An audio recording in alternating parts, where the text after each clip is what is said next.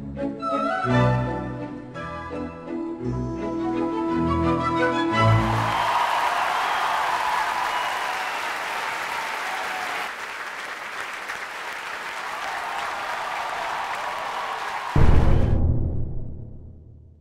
해외에서 발레를 배운 것도 아닌데 10대 시절 전 세계의 유명 발레 콩쿠르의 우승을 휩쓸며 혜성같이 등장한 한국인 발레리나가 있었습니다.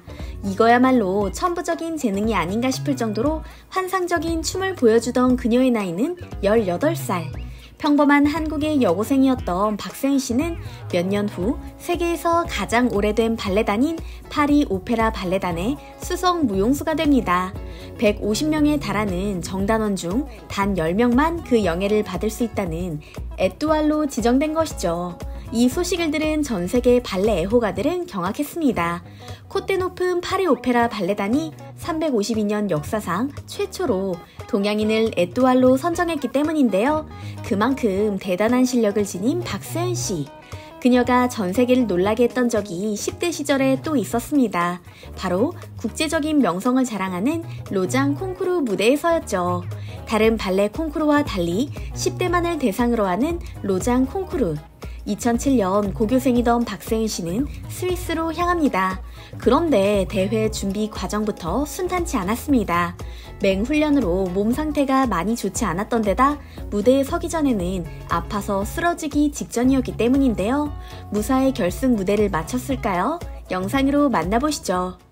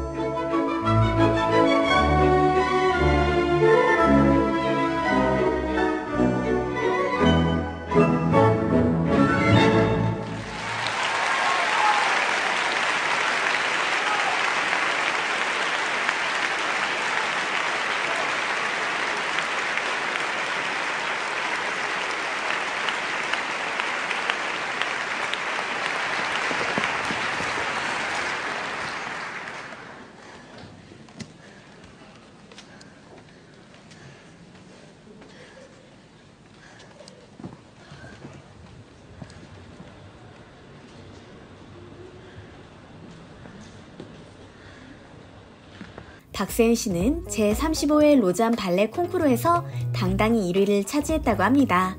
해외 유수 발레단을 선택해 1년간 무료로 공부할 기회를 얻은 그녀는 아메리칸 발레 시어터를 선택해 연수를 받았다고 하는데요. 그 후에는 우리가 아는 것처럼 전 세계에서 손꼽히는 발레리나가 되었습니다. 그럼 박세은 발레리나의 춤과 étoile로 지정됐을 때의 모습을 잠시 보실까요?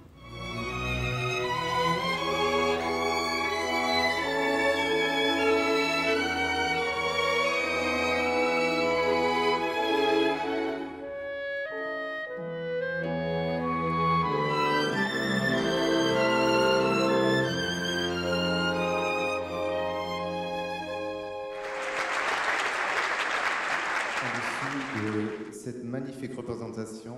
Nous avons tous eu le plaisir ce soir de voir une magnifique danseuse qui nous a montré l'étendue de son talent.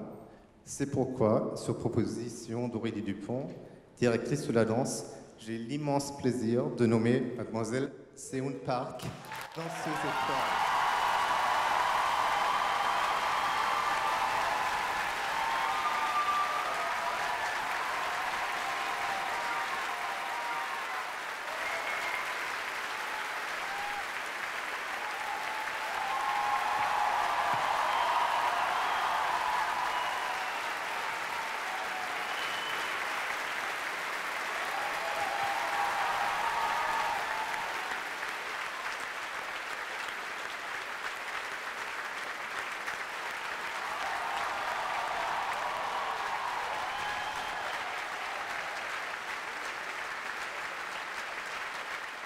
영상을 보면서 저도 울컥하는 기분을 감출 수 없었습니다.